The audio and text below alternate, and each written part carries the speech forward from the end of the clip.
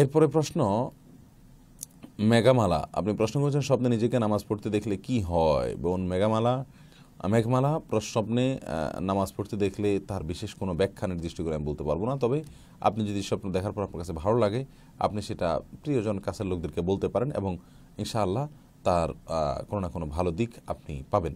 আর সালাদ তো ভালো জিনিস, অতএব এটাকে স্বপ্নের ভিতরে দেখা আমি ভালো বলব। এর বাইরে আর কিছু আমি বলতে পারব না, কারণ স্বপ্ন ব্যাখ্যা বিষয়ে বিস্তারিত আমার জানা নাই। আব্দুল খালেক